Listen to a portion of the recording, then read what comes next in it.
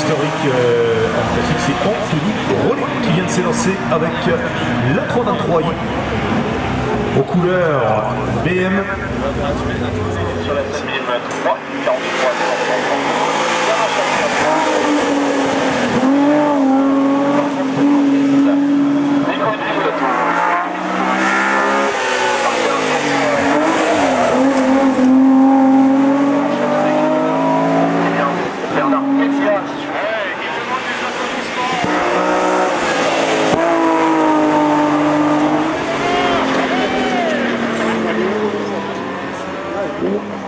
Allez, les spectateurs, régalez-vous, c'est la dernière de JB Davo aujourd'hui. C'était la dernière de l'année, hein, peut-être. Ouais, Superbe, superbe. Allez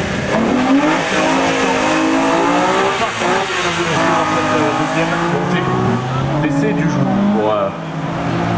Allez, Maxime Vic au départ. Rien à voir avec les stylos. hein. Non, non, non, mais euh, on peut euh, beaucoup écrire avec ce garçon parce que parce qu'il développe, il est, il est conscient.